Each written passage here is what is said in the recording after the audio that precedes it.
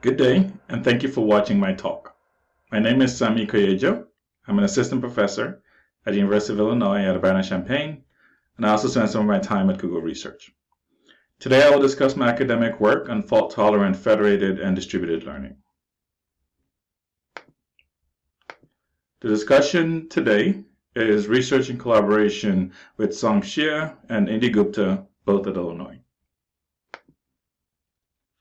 Given this audience, I will assume that we mostly agree that distributed learning and federated learning have many potential benefits, particularly for training speed and for privacy.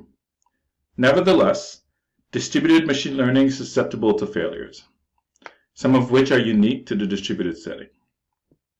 Common issues include issues such as hardware failures, bit flip computation errors, as an example, Software failures such as incorrect, incorrect label coding, and communication failures such as dropped updates.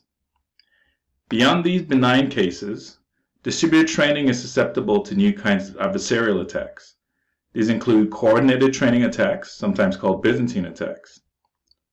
It may be useful for those less interested in adversarial settings to recall that worst case robustness is also a good proxy for failure robustness when possible errors are unknown and unmodeled.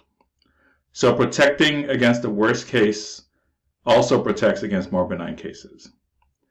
The cartoon here shows a simple situation where a single gradient pointing in the wrong direction can lead to an arbitrary error in the aggregated gradient for distributed learning.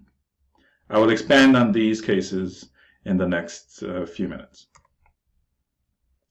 So I will focus on two of the most common strategies for distributed machine learning. The first approach is distributed training. Here, this involves distributed gradient computation, where the server aggregates gradient updates. And the second is federated learning, which involves distributed training on local data, where model updates are computed on the devices, and the server aggregates model parameters. Let's begin with robust distributed stochastic gradient descent. For robust distributed SGD, we will focus on the centralized model. Here, the workers pull the current model from the server, compute local gradients, then push this gradient to the server for aggregation. We consider the threat model, where a subset of workers are adversarial in the worst case, thus may send back arbitrary and potentially coordinated updates disguised as gradients. Early work in this area suggested that robust aggregation was a good way to deal with these issues. Some salient examples include median and Krum as robust aggregation strategies. Specifically, early work focused on robust aggregation such that the aggregated gradient is close to the expected gradient.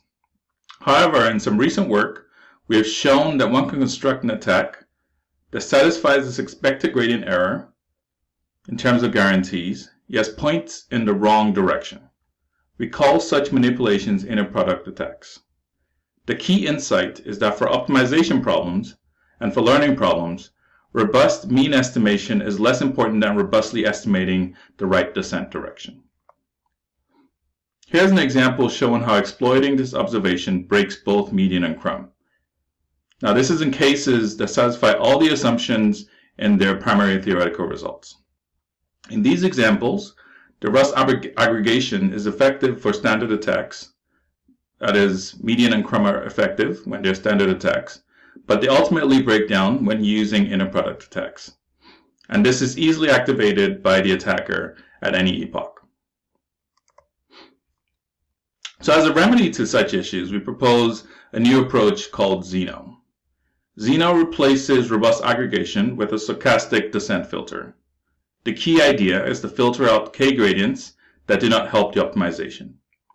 Further, we use a small sample stochastic estimate of this filter to ensure that it's efficient for large-scale problems.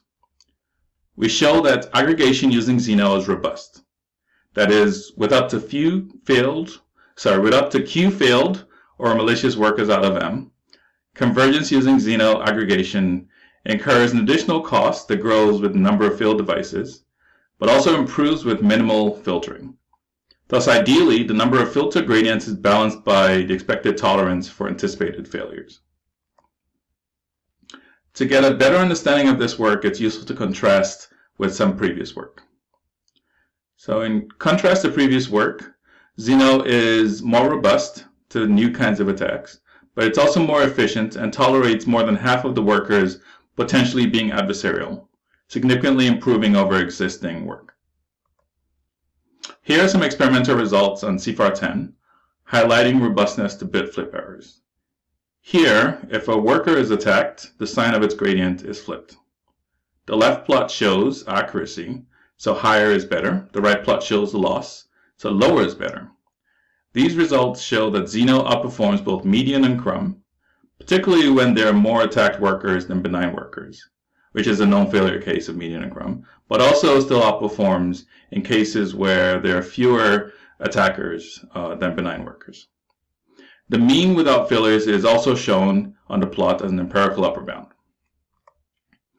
Next, I will outline uh, robust federated learning, uh, shifting gears from uh, distributed learning.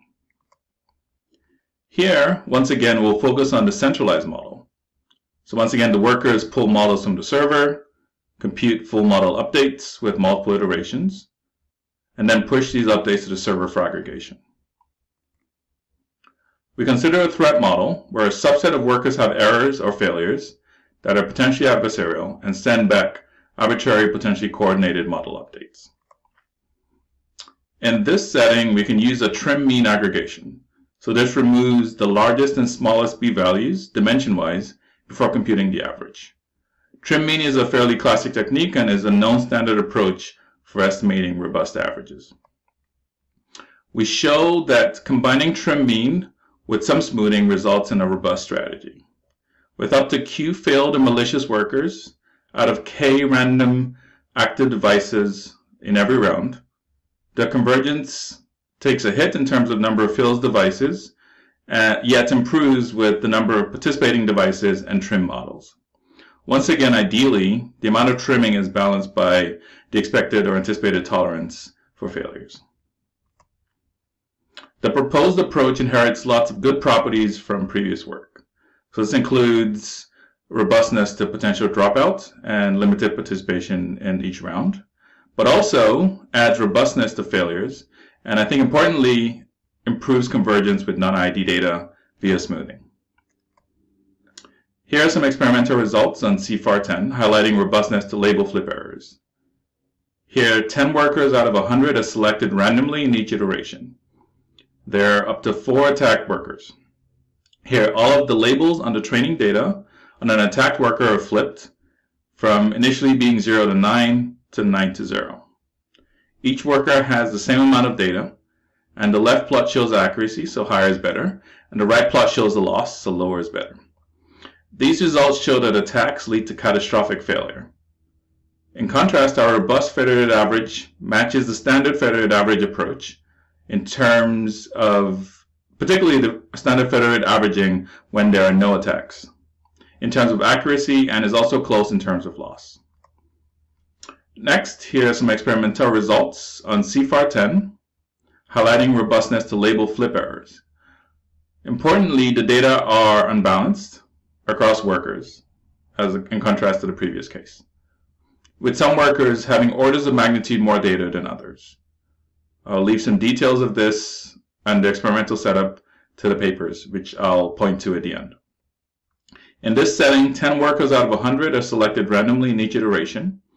And here all the training data labels for an attacked worker are flipped from initially 0 to 9 to 9 to 0. The left plot shows accuracy, so higher is better. The right plot shows loss, where lower is better. These results show that the attack model performs close to the non-attack case in terms of both accuracy and loss.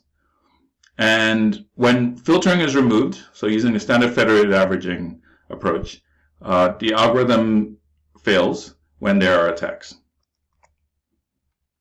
So in summary, I've presented two main results. First, I've shown that suspicion-based aggregation is effective for distributed stochastic gradient descent and is robust to more than half adversarial, potentially adversarial workers. This improves significantly unknown results. Next, I've also shown that smooth trim mean aggregation for federated learning is robust to unbalanced data, communication failures, and adversarial or failed devices. As I highlighted at the beginning, I wish uh, to uh, state again, importantly, that while we focus on adversarial device robustness, remember that worst case error robustness is a really good proxy when uh, potential failure modes are unknown and unmodeled. So worst case robustness offers protection for less severe settings. For more details on anything I've discussed today, please read our relevant papers. We have work, papers I discussed, in ICML, in uh, UAI, and in uh, ECML recently. I'll also highlight a few more papers that might be of interest to you. Uh, mostly we've been exploring asynchronous extensions of some of these training methods in both uh, distributed learning and federated learning settings. Thank you for your attention.